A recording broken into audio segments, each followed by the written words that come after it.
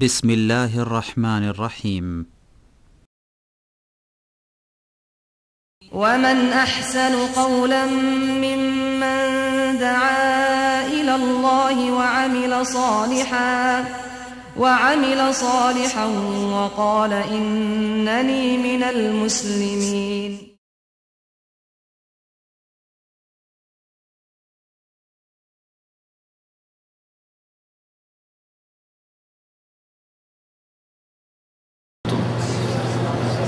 ان الحمد لله نحمده ونستعينه ونستغفره ونعوذ بالله من شرور انفسنا ومن سيئات اعمالنا من يهده الله فلا مضل له ومن يضلل فلا هادي له واشهد ان لا اله الا الله وحده لا شريك له واشهد ان محمدا عبده ورسوله صلى الله تعالى عليه وعلى اله وصحبه وسلم تسليما كثيرا يا أيها الذين آمنوا اتقوا الله حق تقاته ولا تموتن إلا وأنتم مسلمون.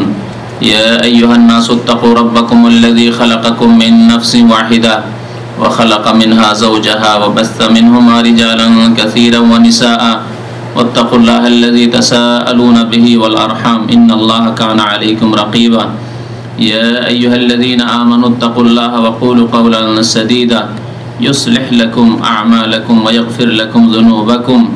ومن يطع الله ورسوله فقد فاز فوزا عظيما. أما بعد فإن خير الحديث كتاب الله وخير الهدي هدي محمد صلى الله عليه وسلم وشر الأمور محدثاتها وكل محدثة بدعة وكل بدعة ضلالة وكل ضلالة في النار. أعوذ بالله من الشيطان الرجيم. بسم الله الرحمن الرحيم. ইয়াকা না'বুদু ওয়া ইয়াকা নাস্তাঈন। মহান আল্লাহর সমস্ত প্রশংসা যে আল্লাহ রাব্বুল আলামিন একমাত্র সাহায্য দাতা যে আল্লাহ রাব্বুল আলামিনের নিকট থেকে একমাত্র সাহায্য কামনা করা ফরজ। দরুদ সালাম নাজিল হোক প্রিয় নবী মুহাম্মদ রাসূলুল্লাহ সাল্লাল্লাহু আলাইহি সাল্লামের উপর, যিনি একমাত্র মহান আল্লাহ রাব্বুল আলামিনের নিকট সাহায্য কামনা করেছেন। এবং একমাত্র তার নিকট সাহায্য চাওয়ার আদেশ প্রদান করেছেন। আল্লাহ সাল্লি আলিহি আল্লাহ বারিক আলিহি আজকের আসল বিষয়বস্তু যা নিয়তে ছিল কিছুক্ষণ আগ পর্যন্ত, তা হচ্ছে ইমান বীর রসুল, রসুলদের প্রতি ইমান যেমন আপনারা যারা নিয়মিত আসেন, তাদের জানা আছে যে বেশ কিছুদিন ধরে ইমানের পিলার গুলি সম্পর্কে।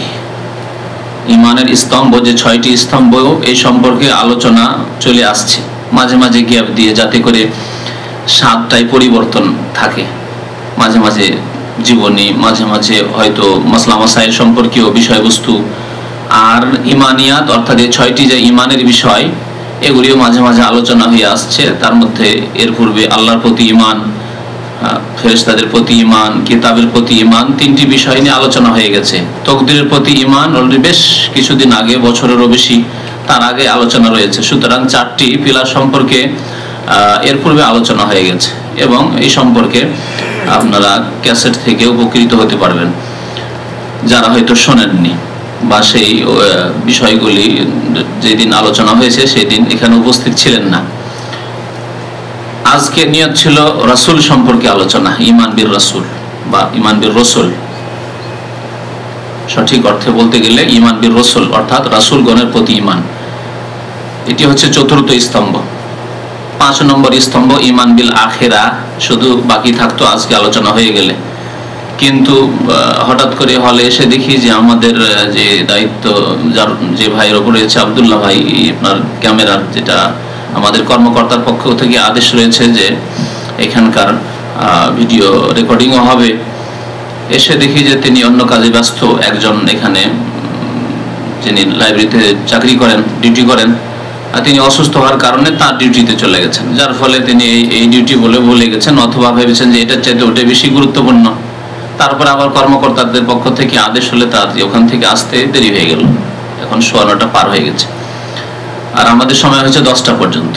এখন যদি রাসুল সম্পর্কে আলোচনা করতে যাই তাহলে কমের পক্ষে এক ঘণ্টা, না হলে কোনো হক আদায় করা যাবে না। যদি সবকিছু আলোচনা না করতে পারি, তা সম্ভব না। অনেক কিছু বলার প্রয়োজন রয়েছে। কিন্তু কিছু তো আলোচনা করতে হবে। বিশেষ বিশেষ পয়েন্টগুলি কমপক্ষে আলোচনা করতে হবে, যার জন্য এক দেড় ঘণ্টার প্রয়োজন রয়েছে। দেড় ঘণ্টার সময় আজকাল থাকে না সাধারণত। নয়টার সময় এসে দেখা যায় যে দশজন দশজন বারো জন লোক মুচিতে পারে। এসার নামাজ পড়ে আস্তে আস্তে নয়টা বেজে যায়। তো নয়টার সময় কমের পক্ষে শুরু হওয়া উচিত, এক ঘণ্টা আলোচনা করলে। এখন সময় প্রায় শেষের দিকে, যার ফলে বিষয়বস্তু পরিবর্তন করে দিচ্ছি। ইমান বীর রসুল থাকল। আল্লাহ রবুল আলম যদি আগামী সপ্তাহে হায়াতে রাখেন আমাদের, তাহলে সবার, তাহলে ইনশাআল্লাহ এই বিষয় সম্পর্কে আলোচনা হবে। আর আজকে আলোচনা করি আরেকটি বিষয় সম্পর্কে। হঠাৎ করে যে সম্পর্কে চিন্তা করলাম সেটি হচ্ছে যে গত সপ্তাহে যে আলোচনা হয়েছিল হাদিস থেকে নবী করিম সাল্লাহ আলী সাল্লামের একটি মূল্যবান বাণী এবং সবগুলি নবী করিম সাল্লাহ সাল্লামের মূল্যবান বাণী, এতে কোনো সন্দেহ নেই। আবদুল্লাহ বিন আব্বাস রাজি আল্লাহ তালা আনহুমাকে বলেছিলেন, নবী করিম সাল্লাহ আলি সাল্লাম কয়েকটি বাক্য, ইন্নি ও আল্লেমোকা কালিমাত আমি তোমাকে কয়েকটি কথা শিখিয়ে দেব। এই বিষয়টি নিয়ে গত সপ্তাহে আলোচনা হয়েছিল। তার মধ্যে যে কয়েকটি বাণীর প্রথম বাণী যেটি ছিল, ইহফাজিল্লাহ ইয়াহফাজত তুমি আল্লাহর হেফাজত করো, আল্লাহ তোমার হেফাজত করবেন। এহফাজিল্লাহ তেজেদুহ তোজাহাক যদি আল্লাহর হেফাজত করো, অর্থাৎ আল্লাহর নাজেলকৃত দিনের, আল্লাহর বিধানের যে বিধান মানব জাতির জন্য ফরজ করেছেন, পালন করা, তা যদি তুমি তার হেফাজত করো তার সুরক্ষা করো, তার বাস্তবায়ন করো, তাহলে আল্লাহকে তোমার সম্মুখে পাবে। এই বিষয়টি নিয়ে গত সপ্তাহে আলোচনা হয়েছে। তারপরের বাণীটি নবী করিম সাল্লামের ছিল বিল্লাহ। এটি হচ্ছে দ্বিতীয় কালিমা। বা দ্বিতীয় কথা নবী করিম সাল্লামের এই হাদিসে আবদুল্লাহ বিন আব্বাসকে বিশেষভাবে সম্বোধন করেছেন। আর যখন তুমি সাহায্য চাইবে তখন একমাত্র আল্লাহর কাছে সাহায্য চাইবে। যখন তুমি সাহায্য কামনা করবে মদত চাইবে, তখন একমাত্র কার কাছে মদত চাইবে? ফাস্তাইন বিল্লাহ, আল্লাহর কাছে মদত চাইবে। তাহলে মদত চাইতে হবে একমাত্র আল্লাহর কাছে। সাহায্য কামনা করতে হবে, প্রার্থনা করতে হবে একমাত্র আল্লাহর কাছে। ইস্তি আনা একে বলা হয় ইস্তি আনা থেকে ইদাস্তা আনতা ইস্তি হচ্ছে, এর হচ্ছে আসল মাস্তার উৎস। এর থেকে বিভিন্ন ধাতু, বিভিন্ন ফর্মগুলি, সেগাগুলি আরবি ভাষায়, অতীত, বর্তমান, ভবিষ্যৎ ইত্যাদি, এই সিমফেল ইত্যাদি বেরিয়েছে। যেমন সুরা ফাতিহাই রয়েছে। এই শব্দতে ইস্তে আনা থেকে আল্লাহ রবুল আলমিন এরশাদ করেছেন ইয়া কা না আবদু বা ইয়া কা নাস্তাইন এখানে নাস্তাইন বলা হয়েছে। এজাস্তান্তা হাদিসে। নবী করিম সাল্লাম বলছেন, যখন তুমি সাহায্য চাইবে, সাহায্য চাইতে হবে আমাকে। ফাস্তাইন বিল্লাহ, সাহায্য কামনা করো কার কাছে? আল্লাহর কাছে। মহান আল্লাহ এরশাদ করেছেন সুরাতুল ফাতিহা ইয়া কা না ওয়া ইয়া কা নাস্তাইন হে আল্লাহ, আমরা তোমারই ইবাদত করি একমাত্র, ইয়াকা। একমাত্র তোমারই ইবাদত করি, তোমারই উপাসনা করি না আবদ এবাদত থেকে না আবদ শব্দটি। এবাদত থেকে না আবদ এবাদত এবাদত করা, উপাসনা করা, বন্দগি করা। ওয়া ইয়া কানাস্তাইন এবং একমাত্র তোমারই নিকট সাহায্য কামনা করি, ইস্তেআনা করি নাস্তাইন নাস্তাইন শব্দটি আউন থেকে, আউন মানে মদত। আইন ও অনন আউন মানে মদত হয়। তাহলে মদত চাইতে হবে, সাহায্য চাইতে হবে একমাত্র আল্লাহ রব্বুল আলমিনের নিকট। এই সাহায্য কামনা করা, এ বাদত প্রথম আমাদের বুঝতে হবে।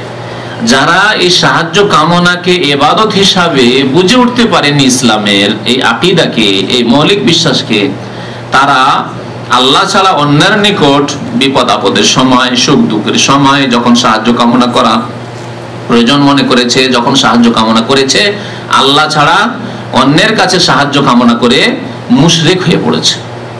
যারা এই ইস্তিয়ানা সাহায্য কামনাকে এবাদত হিসাবে বুঝে উঠতে পারেনি। তাহলে সাহায্য কামনা করা এবাদত। সাহায্য কামনা দুই প্রকার।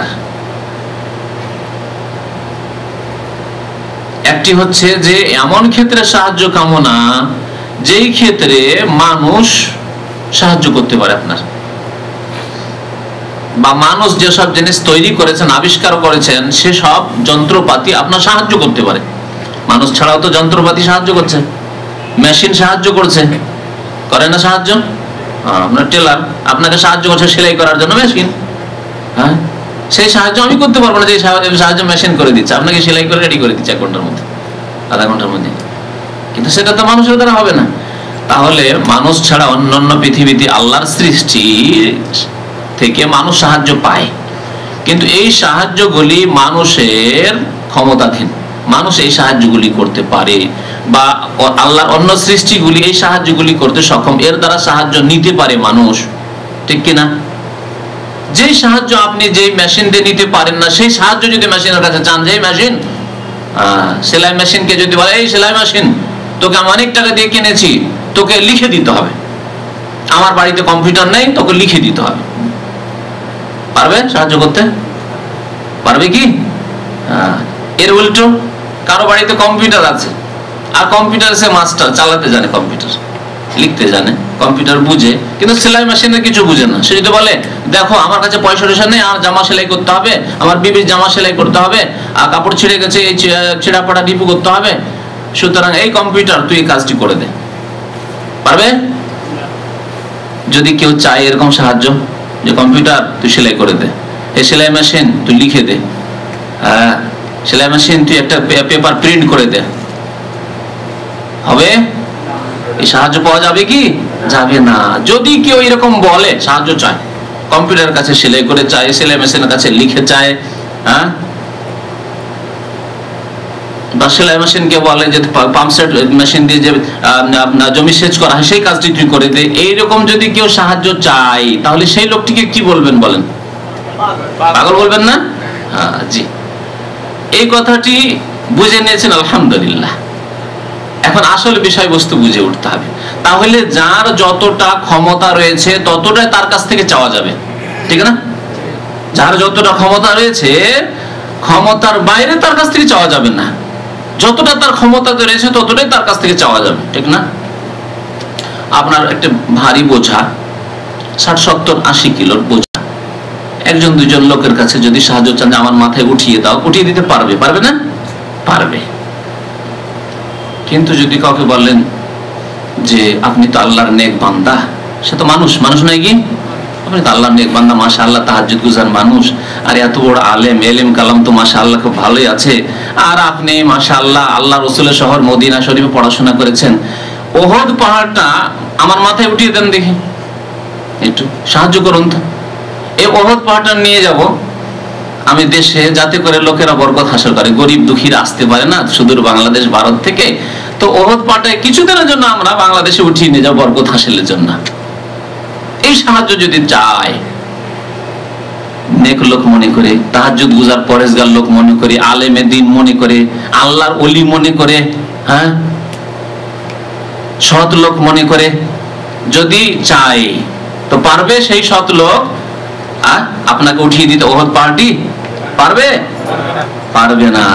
তাহলে যদি পারবে না, যদি কেউ চায় এরকম আচ্ছা এই এটি যদি চায়, কেউ যদি বলে যে আল্লাহর হস্তে আপনি বড় নেক লোক, আল্লাহর ওলি, আর আপনি মাসা আল্লাহ তাহাজুদ গুজার, আপনার দোয়াও তো কবুল হয়। তো আল্লাহর হস্তে ওহদ পাহাড়টি আমাকে উঠিয়ে দেন না, একটু বাংলাদেশে নিয়ে গিয়ে দেন না? হ্যাঁ?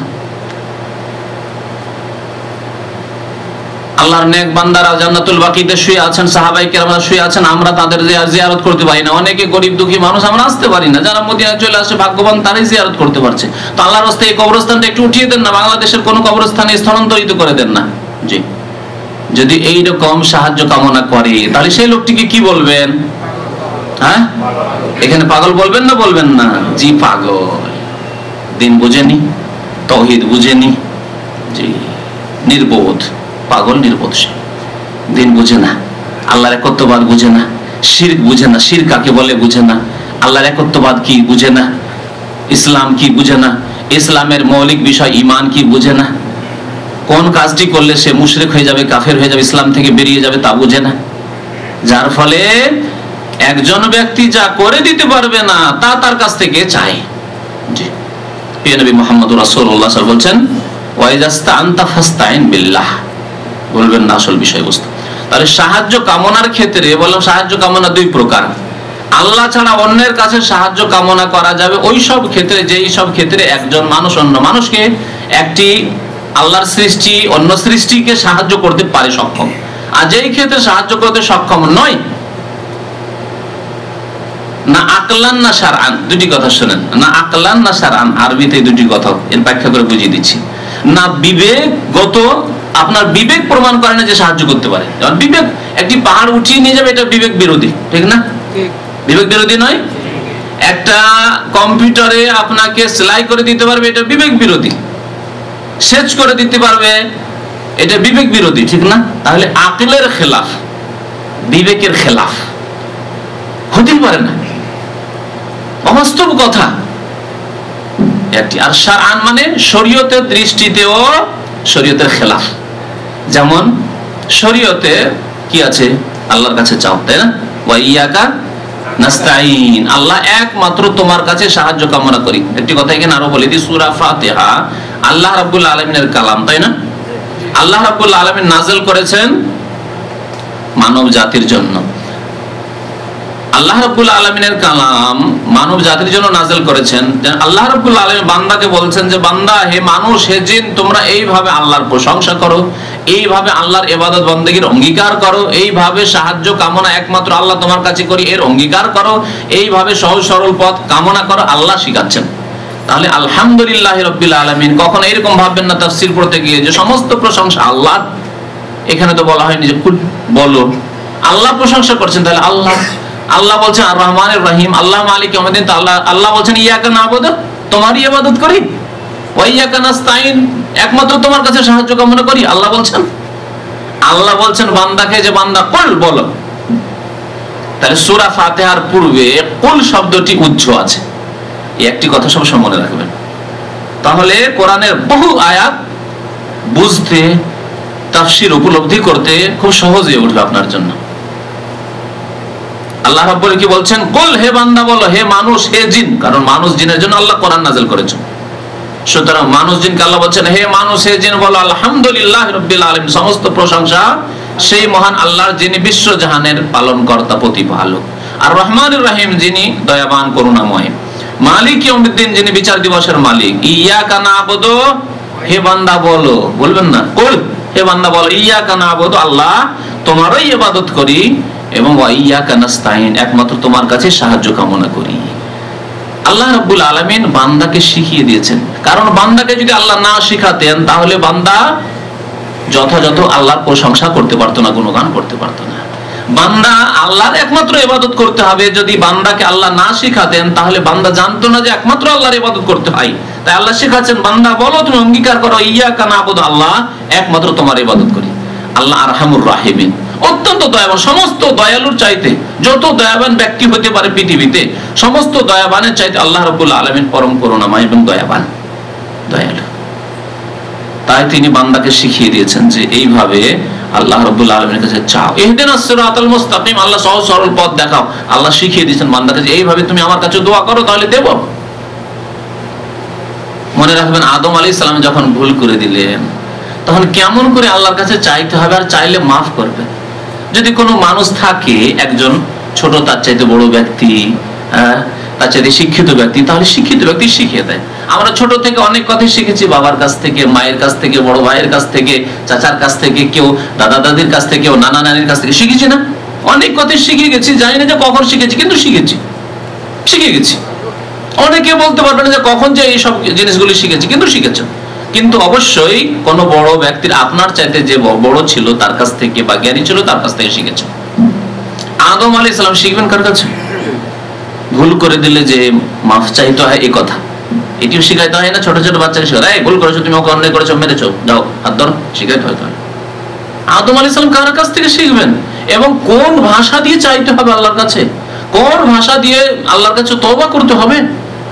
তাই মহান আল্লাহ কোরআন বলছে, ফাতালাক্কা আদম মির রাব্বিহি কালিমাত। আদম আলাইহিস সালাম তার রবের কাছ থেকে কয়েকটি ওয়ার্ড শিখে নিলেন। তাই কালিমাত কয়েকটি কথা, কয়েকটি বাক্য শিখে নিলেন আল্লাহর কাছে দরখাস্ত করার জন্য, তওবা করার জন্য, ভুল স্বীকার করার জন্য, মাফি চাওয়ার জন্য। যখন এই কথাগুলি আল্লাহ কত আরহামুর রাহিম দেখাতে চেয়েছিলাম কি? কত আরহামুর রাহিম আল্লাহ? যে ভুল করেছে, হয়তো ভুল করেছ, তুমি যাও, যেখানে যাবে সেখানে যাও। না। আল্লাহ দয়াবান শিখিয়ে দিচ্ছেন যে, আদম, তুমি তো জানো না কেমন করে চাইতে হয়। তোমার শিখাবার তো কেউ নেই তোমার বড় আল্লাহ আকবর। আল্লাহ শিখিয়ে দিচ্ছেন।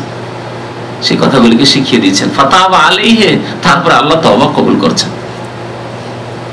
তবা কবুল করছেন। আপনারা দেখেছেন ছোট ছোট ছেলেরা ভুল করে দিলে, বিয়াদবি করেছে, ভুল করেছে বাবা মায়ের। ভুল করেছে না? তারপর যদি বাবার বাবার সামনে বিয়াদবি করে তো মা শিখিয়ে দেয়। যা তোর আব্বার কাছে এভাবে অমানে? দয়ালু, মা, দয়া যে ভুল স্বীকার না করে আর যদি মাফ না নিতে বাবা নারাজ হয়ে গেলে ছেলে তো হতভাগা হয়ে যাবে, বরবাদ ধ্বংস হয়ে যাবে। যদি মায়ের ক্ষেত্রে ভুল করে, তাহলে বাবা শিখিয়ে দেয়। বড় ভাই শিখিয়ে দেয়, বড় বোন শিখিয়ে দেয়। আল্লাহ। আল্লাহ রব্বুল আলমিন স্বয়ং শিখিয়ে দিচ্ছেন যে, এইভাবে তওবা করো। ওই কালেমা, কয়েকটি কালেমা কি ছিল? ওসিলা? হ্যাঁ? আল্লাহ ছাড়া অন্যের কাছে চাওয়া? কারও মাধ্যম ধরা? এগুলি হচ্ছে বিদাতি কথা, সিরকি কথা। এটি হচ্ছে শিরকের চোরা পথ, যে কারও মাধ্যম ধরে আল্লাহ পর্যন্ত পৌঁছিতে হবে। মানুষের মাধ্যম হচ্ছে ইমান এবং শতাবল আল্লাহ পর্যন্ত পৌঁছার সিঁড়ি হচ্ছে মাধ্যম, ওসিলা হচ্ছে, ওসিলা মানে মাধ্যম। এই মাধ্যম হচ্ছে কি? ইমান এবং আমানু কত জায়গায় আল্লাহ রাব্বুল বলেছেন? যে কথাটা বলছেন, আল্লাহ রাব্বুল আলামিন কয়েকটি কালেমা শিখালেন, তাহলে কি? রব্বানা যালামনা আনফুসানা ওয়া ইল্লাম তাগফির লানা ওয়া তারহামনা লানাকুনান্না মিনাল খাসিরিন। আল্লাহ রাহমানুর রাহিম। যাই আসল বিষয় দিকে ফিরে আসি। আর দ্বিতীয় সাহায্য কামনা, দ্বিতীয় প্রকার হচ্ছে যে এমন ক্ষেত্র যেই ক্ষেত্রে পৃথিবীর কোন শক্তি সাহায্য করতে পারে না। না আকলান, না সারান। এই কথাটির ব্যাখ্যা বিস্তারিত করা হয়নি। না বিবেকে ধরছে যে কি করে সাহায্য করতে পারে। এই পিলারটি উঠিয়ে নিয়ে যাবেন এখান থেকে। বিবেকে ধরছে যে একজন মানুষ পিলারটিকে উঠিয়ে নিয়ে যাবে ধরবে হাতে আর ধরে নিয়ে চলে যাবে। হ্যাঁ? বিবেকে ধরেছে যে সমুদ্রে এই সামনে গিয়ে আপনি যাবেন এখান থেকে বাংলাদেশ যেতে চান, আর সামনে সমুদ্র হ্যাঁ? আরব উপসাগর। সুতরাং গামছা বিছিয়ে দিলেন, আর ওপর দিয়ে হেঁটে চলে গেলেন, না টিকিটের প্রয়োজন হ্যাঁ? না পয়সার প্রয়োজন, রিয়ালের প্রয়োজন, আর না আপনার এয়ারপোর্টে যাওয়ার প্রয়োজন। গামছা বিছিয়ে দিলেন সমুদ্র পার হয়ে বাংলাদেশ পৌঁছে গেলেন। সকালবেলা বাংলাদেশ। উড়ে গিয়ে, উড়ে গেলেন, অথবা পানির ওপর দিয়ে হেঁটেই গেলেন। এরকম কিসা কাহিনী আছে কিনা পীর ভণ্ডদের? গামছা বিছিয়ে নদীতে, নদী পার হওয়া, নদী হাঁটা? হ্যাঁ। আকলে ধরছে? আকলে ধরছে? বিবেক তাহলে বিবেক বিরোধী, আকলান আকেলের বিরোধী। আর কিসের বিরোধী? শরীয়তের বিরোধী। যে কাজগুলি সাধারণ মানুষ করতে পারে না। এটা শরীয়তেও এর প্রমাণ নেই। শরীয়তের প্রমাণ নেই যে একজন সাহাবী যদি নবীর পরে কারও মর্যাদা থাকে, তো কাদের মর্যাদা? আম্বিয়াদের পরে মর্যাদা। হচ্ছে সাহাবাই কেরামের। তাহলে গামছা বিছিয়ে হাঁটার ব্যাপারে যাওয়ার হইতো তাহলে সাহাবাই কেরামদের এইসব কেরামত হাসিল হতো। তাদের নেই, আর ভণ্ডদের এত কেরামতের ছড়াছড়ি করতে কি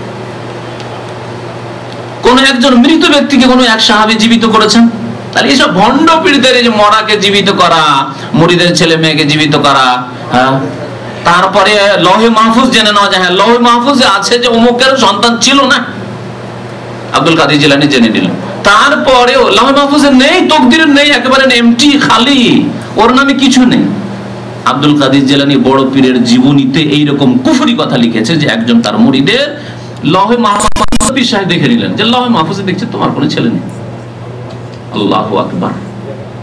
অথচ আল্লাহ বলছে, ফি কিতাবি মাকনুন। গোপনী মাকনুন মানে লুকায়িত কিতাব। আল্লাহ লাহ মাহফুজকে কি বলেছেন? লুকায়িত কিতাব। আর কি বলেছেন? ফি লাউহিম মাহফুজ সুরক্ষিত। আল্লাহ ছাড়া কারও এলেম, বিদ্যা, জ্ঞান ওখানে পৌঁছিতে পারে না।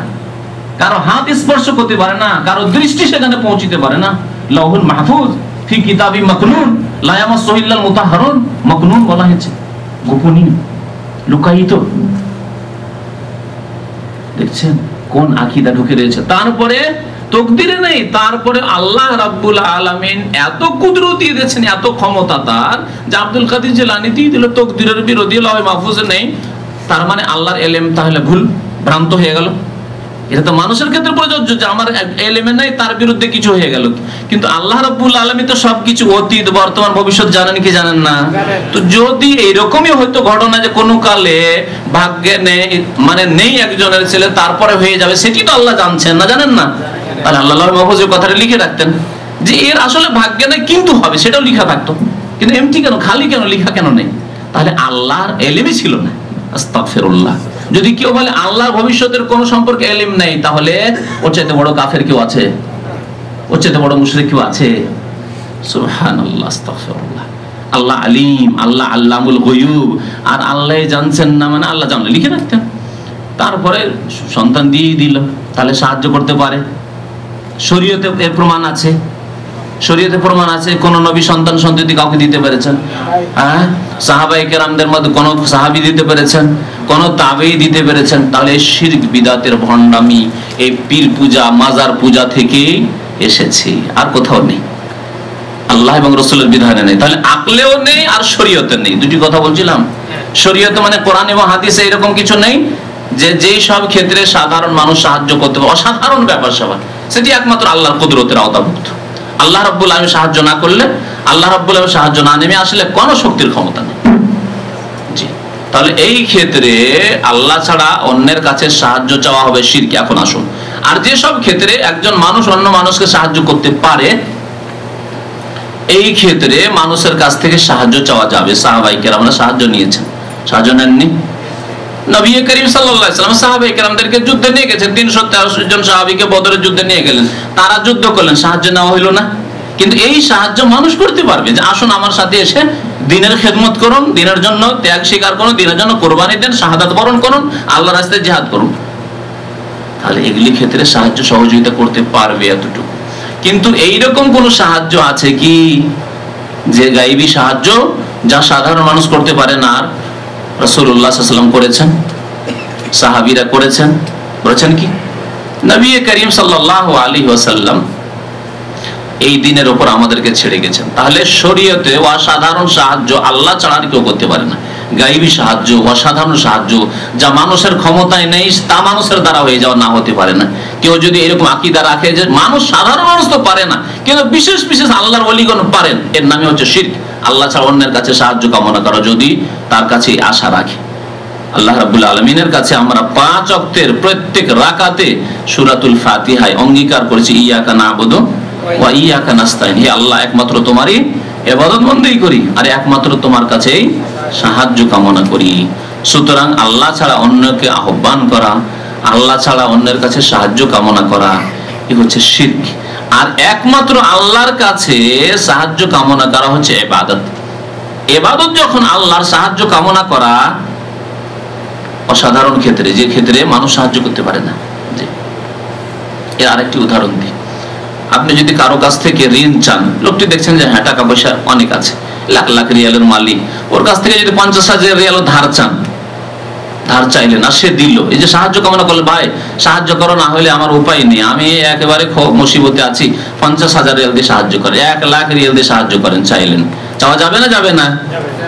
যাবে। কিন্তু যদি কোনো নেক লোক কেন কোন ফাসেকের কাছে তারা যাবেন না? অসাধারণ সাহায্য চাইতে, তাই না? সেই জন্য নেক লোকের কথা বলছি। কোন আল্লাহ নেক লোক, আর জানে যে তার বেতন অল্প খেয়ে দিয়ে ও শেষ করে দেয় মাসের মাস। আর তাকে কি বলছেন যে, হুজুর, আপনি তো বেশ আল্লাহ মানুষ, আর আল্লাহর নেক বান্দা। আলহামদুলিল্লাহ, আপনি তো অনেক কিছুই দিতে পারেন। তো এসছি দুই লাখ টাকা বাংলাদেশ থেকে খরচ করে, আর কাজকর্ম নেই। দেশে চলে যেতে হবে সুতরাং আল্লাহর হস্তে আপনি আমাকে এক লাখ টাকা দেন না, এক লাখ রিয়াল দেন না। আল্লাহর হস্তে এক লাখ রিয়াল দেন না। জানেন যে এত অভাবী যে তার কাছে পাঁচ হাজার রিয়ালও নেই। আল্লাহর হস্তে আপনি আপনার ক্ষমতা দিয়ে, আপনার যে ক্ষমতা আল্লাহ দিয়েছেন, আপনি যে আল্লাহর বলি আল্লাহর নেক বান্দা, আপনি যে তাহাজুদ গুজার, আল্লাহর হস্তে আমাকে এক লাখ রিয়াল দিয়ে সাহায্য করুন না। যদি এই চাওয়া চান, চলবে? এর নাম হচ্ছে শির কারণ লাইভ থেকে একটু মাটি সরালো, আর মাটি সরিয়ে টাকা বেরোতে লাগল। আর দু চার পাঁচ লাখ, দশ লাখ রিয়াল বেরিয়ে গেল, আর উঠিয়ে আপনাকে দিয়ে দিল নিয়ে যাও। আপনার ঝোলাতে মাটি ভরে দিল, আর মাটি সব রিয়ালে পরিবর্তন হয়ে গেল, ডলারে পরিবর্তন হয়ে গেল। এটি হতে পারে? না আকলে ধরছে, বিবেকে ধরছে, না শরীয়তে এটা আছে। তাই না? তাহলে এই রকম যদি কেউ সাহায্য চায়, আল্লাহ ছাড়া অন্যের কাছে, তাহলে শিরিক। কিন্তু আল্লাহর কাছে যদি চায়, আল্লাহ আমি কাজে এসেছিলাম অনেক টাকা খরচ করে এসেছি আল্লাহ। আমি এখানে এসে নাকাম হয়ে গেলাম ফেলিয়ার হয়ে গেলাম। আল্লাহ তুমি সাহায্য করো আল্লাহ রবুল আলমিন। এমনকি যদি এমন ধরেও আল্লাহর কাছে চাই আল্লাহ আমি এসেছি দুই লাখ টাকা খরচ করি আল্লাহ আমাকে দুই লাখ রিয়াল দাও। চাওয়া যাবে না যাবে না? যাবে। চাওয়া যাবে। গায়েব থেকে আল্লাহর কাছে চাইছেন। হ্যাঁ এই এই সাহায্য একমাত্র আল্লাহ রাব্বুল আলমিনের কাছে চাইতে ওই যে স্থান তার ফাস্তাইন বিল্লাহ। যখন সাহায্য চাইবে তখন একমাত্র আল্লাহর কাছে চাইবে। তারপরের বাক্যটিতে প্রিয় নবী ওয়াসাল্লাম বলছেন, ওয়াইদা সাআলতা ফাসআলিল্লাহ। আর যখন চাইতে হবে, তখন একমাত্র আল্লাহর কাছে চেও। এই ক্ষেত্রেও মনে রাখবেন যে, সাধারণ মানুষ যদি দিতে পারে দেখছেন দিতে পারছে, মানুষ মানুষকে সাহায্য করতে পারে, তাহলে আপনি মানুষের কাছেও চাইতে পারে কিন্তু অসাধারণ জিনিস যেটি মানুষের পক্ষে দেওয়া সম্ভব নয়, একমাত্র আল্লাহর কাছে চাইতে হবে। এইরকম একটি উদাহরণ প্রিয় নবী মোহাম্মদ রসুল্লাহ একটি হাদিসে দিয়েছেন, লিয়াসাল আহাদকুম রাব্বাহু কুল্লা বান্দা যেন তার রবের কাছে সবকিছুই কামনা করে, চায়। সবকিছু আল্লাহর কাছে চান। এক্ষেত্রে মনে রাখবেন যে যা আল্লাহ ছাড়া অন্য কেউ দিতে পারে না। অসাধারণ বিষয়। সেটি একমাত্র আল্লাহর কাছে চাইতে হবে। আল্লাহ ছাড়া অন্যের কাছে যদি এই ক্ষেত্রে সাহায্য চান, তাহলে কি হবে? শির হয়ে যাবে, ঠিক না? আর মানুষ দিতে পারবে, তারপরেও মানুষের কাছে চাইছেন না। এটি ফরজ তো নয়, কিন্তু উত্তম। যেমন আপনাকে খিদে লেগেছে খিদে লেগেছে, খুব খিদে আছেন পয়সা নেই, নতুন এসেছেন বিদেশে। একটি পয়সাও নেই, মালিকও পয়সা দেয়নি। আর কোনো পরিচিত ব্যক্তিও নেই যে যার বাসায় চলে যাবেন আর খেতে দিবে নিজে থেকে। কেউ খেতে দিচ্ছে না। মসজিদে নামাজ পড়ছেন, অনেক দেশের লোকেরা সালাম দোয়া করছেন। কেউ ডাকছে না যে, আসো কোথেকে এসছো? কি অবস্থা? ডাকছে না কেউ। সেই সময় যদি কোনো ভাইকে বলেন যে, ভাই, আমার তিন দিন হয়ে গেল, পেটে কোনো দানা পানি নেই, তো একটু আল্লাহর হস্তে একটু একবার খেতে দেন না। চাওয়া যাবে না যাবে না, চাওয়া যাবে কিন্তু এই চাওয়া না চেয়ে যদি আল্লাহর কাছে দোয়া করেন, আল্লাহ মুসা আলি ইসলামের মতো, আল্লাহ আকবর। মুসা আলি সাত দিন অনাহারে মিশর থেকে বেরিয়েছেন, আর মাদাইন পৌঁছে যাচ্ছেন, আর পৌঁছার পরে আল্লাহ রবুল আলমিনের কাছে, কূপের কাছে এসে ওই দুইজন যে মেয়ে, তাদের ছাগল বকরিকে পানি পান, করিয়ে দিলেন। আর তারপরে তাদের কাছ থেকে কিছুই পারিশ্রমিকও চাইলেন না। আর এ কথাও বললেন না যে, যাও বাড়ি গিয়ে কিছু খাবার দাবার পাঠিয়ে দিও, খুব খিদে আছি। এ কথাও বললেন না। ইলা জিল্লে ঘটনা আসছেন গাছের, আর অত্যন্ত ক্লান্ত হয়ে ভেঙে পড়েছেন। সাত দিনের খিদা। তিন দিনে বেহুশ হয়ে যায় মানুষ। কালকে ঘটনা শুনছিলাম, দারিদ্রতার যুগের ঘটনা শুনছিলাম আরব ভাইদের কাছ থেকে। তো তিন দিন তিন দিন হয়েছে, তিন দিনে বেহুশ। আর হুশ নেই, অচেতন অবস্থা। সাত দিন হয়ে গেছে মুসা আলি ইসলাম কিন্তু আল্লাহর নবী, নবীগণ অত্যন্ত শক্তিশালী হন তারা। গাছের ছায়া এসে বলছে, রব্বে আল্লাহ, আমার জন্য তুমি যে ভাগ্যে রিজিক নাজেল করেছ, তার আমি আজকে মহতাজ, মুখাপেক্ষী হয়েছি, আল্লাহ। কত আদবের সাথে দরখাস্ত। এ কথা না যে আল্লাহ, তুমি কি আমাকে দেখতে পাও না? আল্লাহ, তুমি ফাঁসে, ফাজের কাফের ফেরাউনকে দিয়েছ রাজত্ব?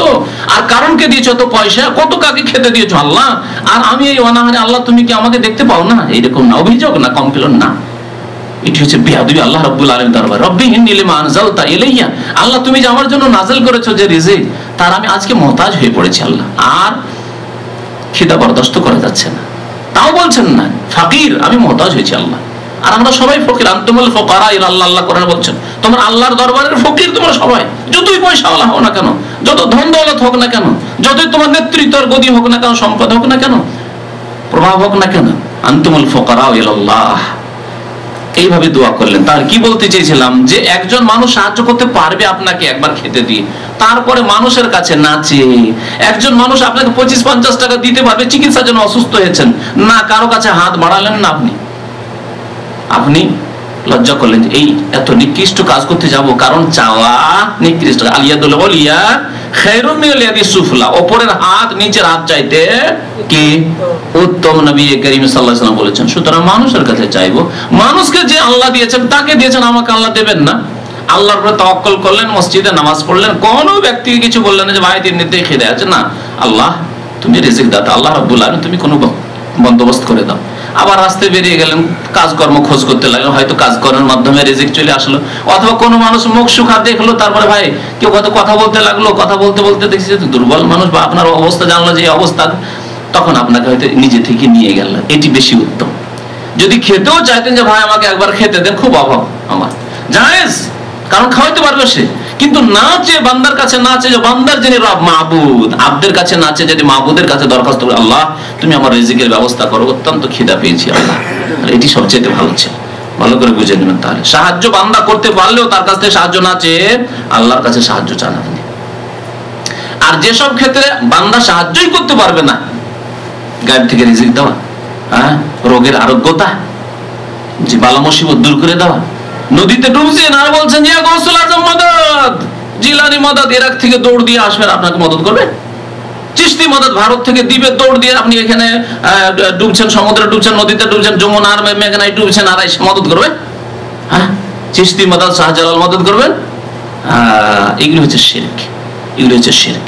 যেখানে আল্লাহ রাব্বুল আলম একমাত্র সাহায্য করতে পারেন, আর কোন শক্তি সাহায্য করতে পারে না। ভালো করে বুঝে নিতে হবে। ওই আলিল্লাহ তো বলছিলাম ওই হাদিসটি নবী করিম সাল্লাম বলছেন যে, তোমাদের প্রত্যেকেই যাতে করে সবকিছুই একমাত্র আল্লাহর কাছে চায়, এটি হচ্ছে উত্তম। উত্তম ইমানের অবস্থা। যে আপনি মানুষের কাছে চাইবেন না, কারও দ্বারস্থ হবেন না। এমনকি জুতার ফিতা, স্যান্ডেলের যে ফিতা থাকে স্যান্ডেলের বাধা বা ফিতা। এই স্যান্ডেলের বাধা বা ফিতা ছিঁড়ে গেছে, কার কাছে চাইতে হবে? নবী করিম সাল বলছেন যে সেটিও আল্লাহর কাছে চান। অথচ আপনি জুতার দোকানে গিয়ে পয়সা আছে পয়সা দিয়ে কিনে নেবেন। আর পয়সা নেই মনে করেন, তো জুতার দোকানে গিয়ে বলতে পারেন যে, ভাই, পয়সা নেই পকেটে, আর আমার এই স্যান্ডেলের ফিতাটা ছিঁড়ে গেছে। একটা ফিতা দেবেন না একটু। চাইতে পারবেন না পারবেন না। যাই তারপরেও নবী করিম সাল বলছেন, তুমি কার কাছে চাও? আল্লাহর কাছে। আল্লাহ জুতারে ছিঁড়ে গেল। মসজিদে গেছেন নামাজ হারিয়ে গেছে। বলে রাজন আল্লাহ আজেরনি ফি মুসিবতি ওয়াকুলি খায়রামিন আল্লাহ, তুমি উত্তম ব্যবস্থা করো আল্লাহ রাব্বুল আলামিন। আল্লাহর কাছে আল্লাহ আপনাকে সরাসরি জুতা তো নাজিল করবে না, কারণ এইরকম ভাবে আল্লাহ দেখান না। কিন্তু আল্লাহ একটি জুতা আপনার হারিয়েছে, কত জুতার পয়সা আল্লাহ আপনার বাড়িতে পাঠিয়ে দেবেন? রিজিকের দ্বার আল্লাহ খুলে দেবেন? সুবহানাল্লাহ, আল্লাহ রাব্বুল আলামিন রাজ্জাক। এই ঈমান থাকতে হবে আমাদের। জি। এইভাবে আল্লাহ রাবুল আলমের কাছে সাহায্য চাইতে হবে। মাঠে, মরুভূমিতে আপনার জুতো ছিঁড়ে গেছে।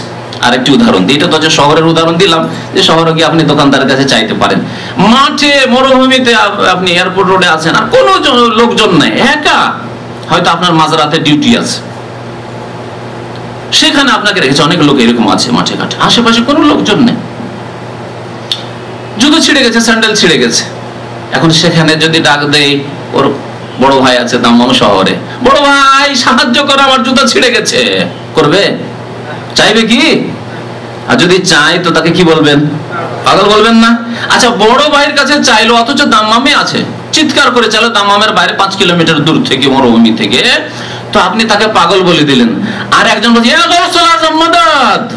ভারতে বাড়ি, বাংলাদেশে বাড়ি, মিশরে বাড়ি বলছে এক মিশরীয়কে দেখছি মসজিদ নবীর গেট থেকে বাবু সালাম থেকে বের হচ্ছে। আজকে থেকে চোদ্দ বছর আগে আগের ঘটনা। মদিনা মন্নামারে যখন পড়তাম, মদিনা ইউনিভার্সিটিতে পড়াশোনা করতাম, এই প্রথম শির্ক মসজিদ নবীতে মুশরিকদেরকে করতে দেখেছি। মসজিদ নবী থেকে বের হচ্ছে বাবু সালাম দিয়ে আর বলছে, ইয়া রাসূলুল্লাহ, মাদাদ! আল্লাহু আকবার। মুসলমানদের অবস্থা যদি এই হয়, তাহলে হরে রাম, হরে কৃষ্ণ, ইয়া রাসূলুল্লাহ মাদাতে পার্থক্য কোথায়? এই আকীদা বুঝতে পারছে না মুসলিমরা। যে পার্থক্য শুধু ব্যক্তির পার্থক্য পার্থক্য শুধু ভাষার পার্থক্য, আর আকিদা, আমল, ধ্যান, ধারণা, ভ্রান্ত শিরকি বিশ্বাস একই রকমের। কেউ রামের কাছে চাই আর কেউ মোহাম্মদের কাছে চায়, জিলানির কাছে চায় চিস্তির কাছে চায়। আমাদের সবার আরেকটি সিরকি কথা আছে, সেটি থেকেও সাবধান, রাম কি রহিম, তাই না? হিন্দুদের পাশে বাস করে রামকে রহিমের সমান করে দেয় আমাদের দেশের এক সাইডের জাহেল মূর্খরা। বুঝতে হিন্দুদের রাম আর আমাদের রহিম মানে আল্লাহ। রহিম তো অবশ্যই দিতে পারবেন, কিন্তু মোহাম্মদ দিতে পারবেন না ক্ষমতা নেই। চিস্তি জিলানি দিতে পারবেন না। বুঝতে পেরেছেন?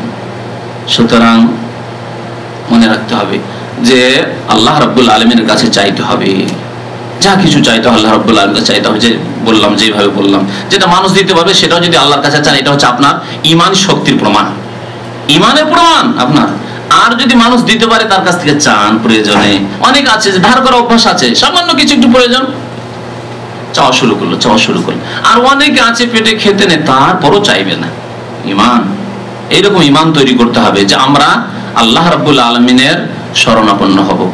আল্লাহ রব্বুল আলমিনের মহতাজ হব। আল্লাহর দরবারে হাত লম্বা করব। আল্লাহর কাছে দরখাস্ত করব এবং এর প্রমাণ জীবনে পাওয়া যাবে যদি আমরা ওই রকম মুখলেস হয়ে আল্লাহর তৌহিদে, আল্লাহর একত্ববাদে। আল্লাহর গাইবী মদত কোথা থেকে যে নেমে আসবে?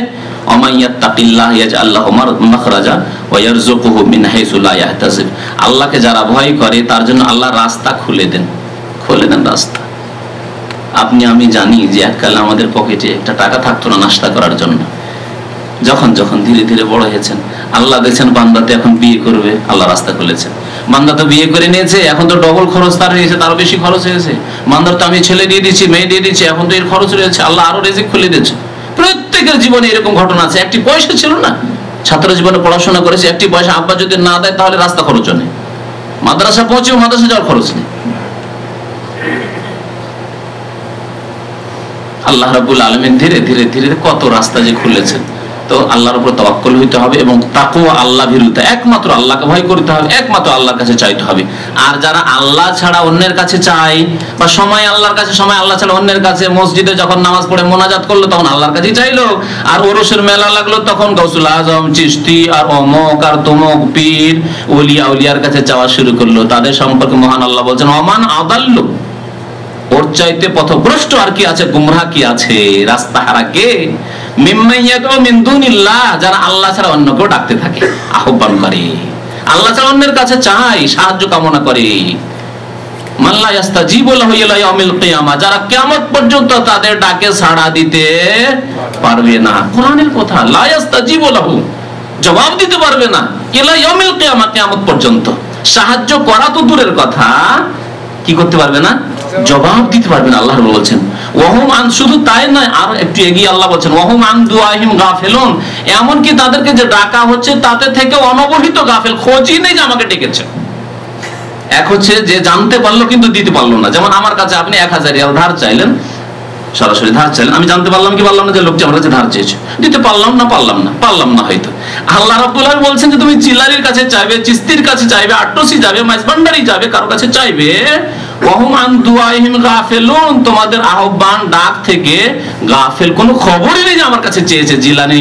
কোনো খবর নেই যে জিলানির কাছে লক্ষ লক্ষ লোক গিয়ে শিরিক করেছে আর বলছে, ইয়া গাউসুল আজম মাদাদ, ইয়া জিলানি শাইয়াল লিল্লাহ, ইয়া চিশতি শাইয়াল লিল্লাহ, ইয়া গরিব নওয়াজ। কোনো কিছুই মান কোনো খবর নেই তাদেরকে। কাল কিয়ামতে তাহলে যখন খবর নেই, কাল কিয়ামতে কি বলবে তারা? ওয়াইজা হোসেরান নাসু আদা।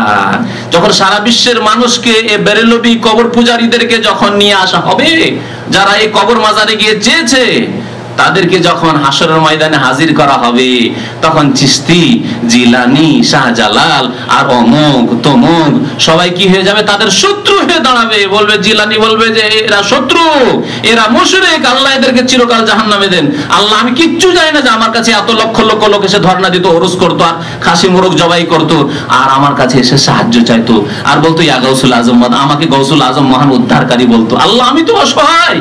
আল্লাহ, তুমি রহম না করলে আমি তো জান্নাত যেতে পারব না। আল্লাহ কানুল আদা শত্রু হয়ে দাঁড়াবে তারা। শত্রু হয়ে যাবে কবর মাজার পূজারীদের।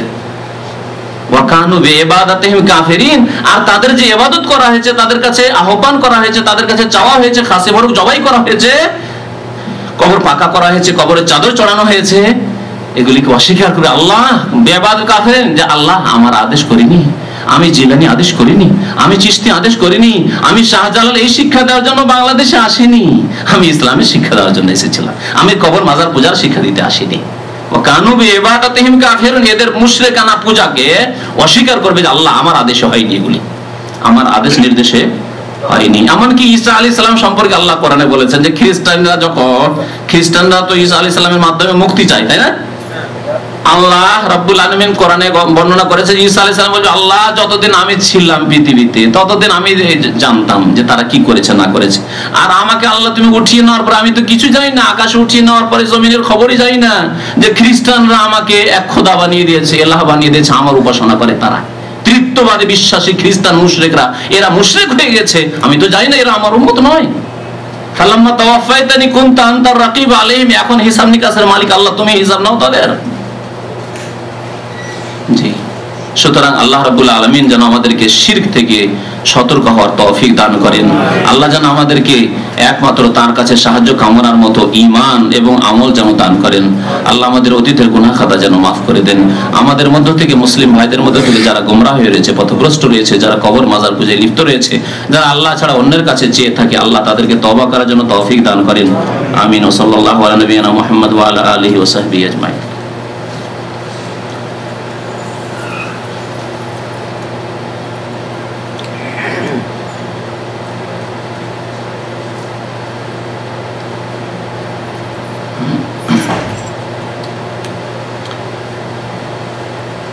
প্রশ্ন করেছেন, মহিলারা জামাত করে নামাজে কেরাত উচ্চ আওয়াজে করবে নাকি চুপি সরে? যদি আশেপাশে কোনো পুরুষ লোক না থাকে, তাহলে উচ্চ স্বরে পড়তে পারবে। শর্ত হচ্ছে বাইরে আওয়াজ দিতে হবে না। বাড়ির বাইরে আওয়াজ যাবে না। বাড়ির পাশ দিয়ে যদি রাস্তা থেকে, বাইরে আওয়াজ যাবে না। ঘরের ভিতরে যদি আওয়াজ থাকে, আর বাড়ির মধ্যে কোনো মাহারাম ছাড়া অন্য কোনো পুরুষ লোক নেই, দেবর নেই ভাষণ নেই, হয়তো শ্বশুর সাহেব আছেন স্বামী আছে, শুধু স্বামী আছে বা আপন ভাই ভাইরা ভাই বোনেরা রয়েছে, আব্বা রয়েছে, ভাই রয়েছে, বাবার বাড়িতে মহিলা রয়েছে, তাহলে কোনো অসুবিধা নেই। উচ্চ স্বরেও রাতের নামাজগুলি বা যে নামাজগুলিতে উচ্চ স্বরে কেরাত রয়েছে, সেগুলিতে উচ্চ স্বরে কেরাত মহিলারা করতে পারবে যেমন কোরআন তেলাওয়াত উচ্চ স্বরে করতে পারবে। তবে জরুরি নয় তাদের জন্য জি।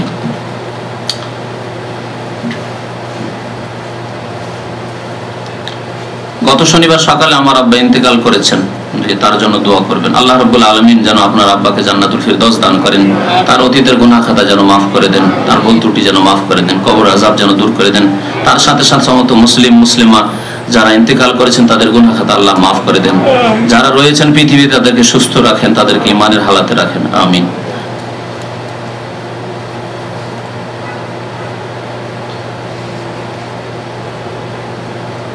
উটের মাংস খেলে উজু ভেঙে যায়, কিন্তু কি কারণে? কারণ আল্লাহ জানেন। রসুল উল্লাহ বলেছেন।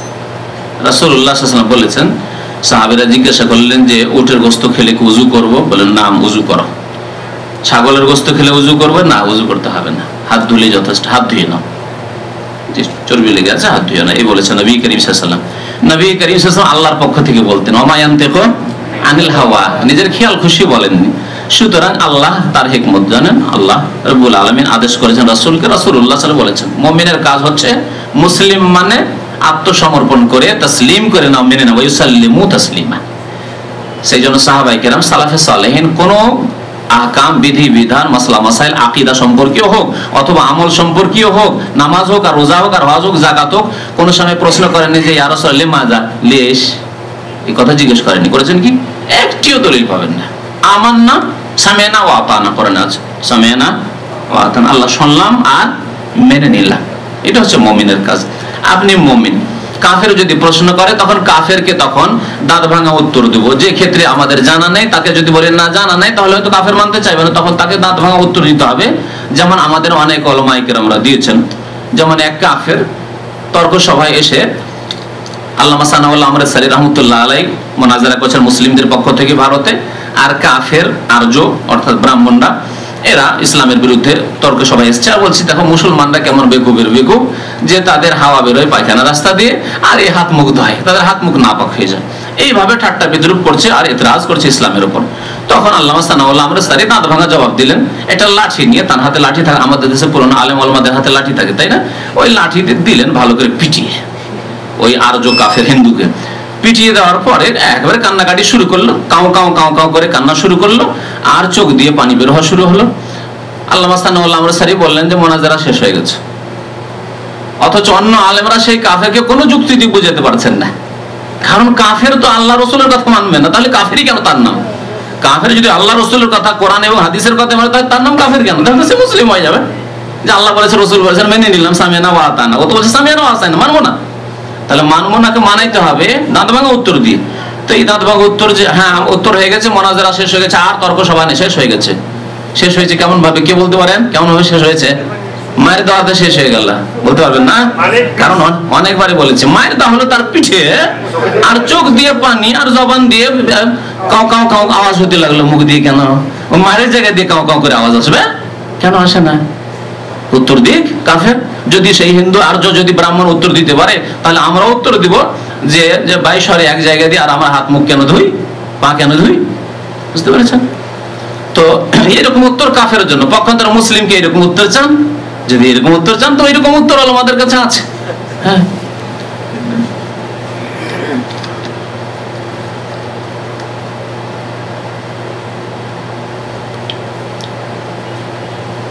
আমি নিয়ত করেছিলাম যে যদি প্রবাসে যেতে পারি, তবে শুক্রবার দিন মসজিদে মুসল্লিদের খানা খাওয়াবো। ভালো কথা, অসুবিধা নেই। এখন আমার নিকট যে টাকা আছে, সে টাকা দিয়ে যদি মুসল্লিদের খানা খাওয়াই দিই, তবে আমার কষ্ট হবে। কেন কষ্ট হবে? তো নজর কেন মানলেন নজর পুরা করতে হবে। জি। আই বুঝে বাই। আর পরে না হয় পস্তায়। এরকম একটা কথা ছোট কালে শুনেছিলাম উল্টো পাল্টা হইলে হয়তো কিন্তু মুরব্বীরা বেশি বলতে পারেন। আই বুঝে বাই করতে হবে যে আপনার বেতন কত হইতে পারে আপনার শিক্ষাগত কতটা যোগ্যতা আছে ওই রকম নজর মানেন। যে আমি গ্রামের পাঁচ দশটি লোককে খাওয়াবো এরকম নজর মানতে হ্যাঁ, গ্রামের মুসল্লি জুমার মুসল্লিদেরকে খাওয়াবো তাতে সুখী দুঃখী ধনী সবকে খাওয়াইতে হবে পয়সাওয়ালাদেরকেও খাইতে হবে চেয়ারম্যান ও এমপি থাকলেও খাওয়াইতে হবে। কারণ আপনি সবাইকে খাওয়ার নিয়ত করেছেন। আর নজর এটি। আল্লাহ বলছেন নজর পুরা করা ফরজ। মান্যত পুরা করা ফরজ হয়ে গেছে আপনার উপর। এখন যদি না পারেন, একেবারে না পারেন, কষ্ট হচ্ছে আপনার এই কষ্টের কথা না পারেন যদি, তাহলে আপনাকে কসমের কাফারা দিতে আর কষ্ট হচ্ছে মানে আমার একটু অভাব হয়ে যাবে, বা হয়তো জমি কিনতে চাইছি, পাকা বাড়ি দিতে চাইছি, সেগুলি হবে না। এগুলি ইসলামের না, আপনাকে আগে নজর পুরা করতে হবে, এবাদত মান্যত পুরা করা। জি, সুতরাং একটু হুশ করে কথাবার্তা বলতে হবে। সব সময় দিনের কথাই বলেন, দুনিয়ার কথা বলেন, একটু হুশ করে কথাবার্তা বলতে হবে।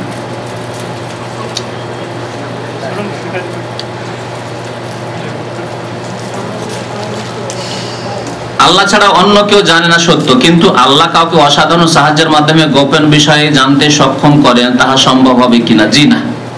এরকম কোন রাস্তা নেই। আল্লাহ বলছেন আকাশ জমিনের গায়বের খবর কার কাছে?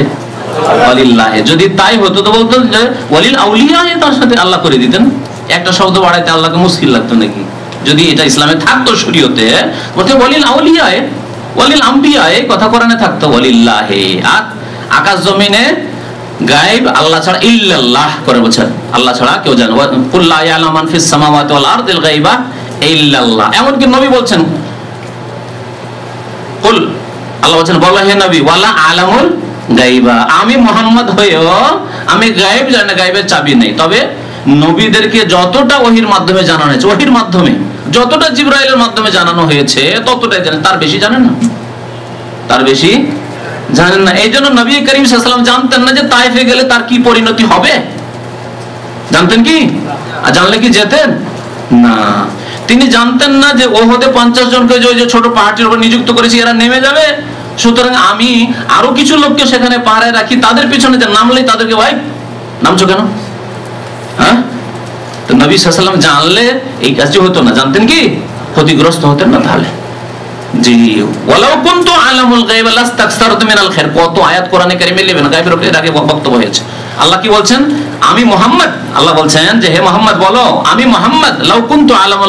যদি অদৃশ্যের কথা জানতাম, অদৃশ্যের জ্ঞান জানতে পারতাম তাহলে অনেক কল্যাণ আমি সঞ্চিত করে নিতে পারতাম।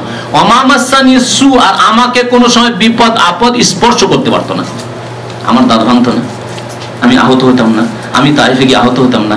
পায়ে জুতো জমে গেছে, রক্তের সাথে এ হইতো না। জি, সব হইতো না। লাস্তাকসার তুমি আল সুতরাং এই আকিদা আকিদা। গাইবের চাবি কাঠি গায়ব। কত আয়াত আপনাদেরকে বলব, সময় নেই, ঘড়ি আগে চলে গেছে। ওয়াইনদাহু মাফাতিহুল গায়ব, আল্লাহ বলছেন, কার নিকটে গায়বের চাবি আছে? মাফাতি মানে বুঝেন মিফতা পকেটে আছে প্রত্যেকের। মিফতা মানে বুঝেন তো, সবাই বুঝেন। সৌদি আরব আসাতে কমপক্ষে এইটুকু ফায়দা হয়েছে যে ভণ্ড পীরেরা আপনাকে ধোকা দিতে পারবে না। আপনি বল ওয়াইন দাহু মাফাতিউল গায়েব। কার নিকটে? ইন দাহু এক বচন, আল্লাহর নিকটে, না চিস্তির নিকটে? জিলানির নিকটে? মোহাম্মদের নিকটে? গায়েব। আল্লাহর নিকটে কি আছে? গায়েবের চাবি সমূহ আছে। লা ইয়ালামুহা ইল্লা হুয়া। ইল্লা হুয়া। এক বচন। তিনি ছাড়া আর কেউ জানে না। আল্লাহু আকবার। তারপরে বলবেন, কাউকে যদি আল্লাহ অসাধারণ জ্ঞান দিয়ে দেন করতে ওহির দরজা বন্ধ হয়ে গেছে। কোন বলির কাছে ওহি আসে? আসে না।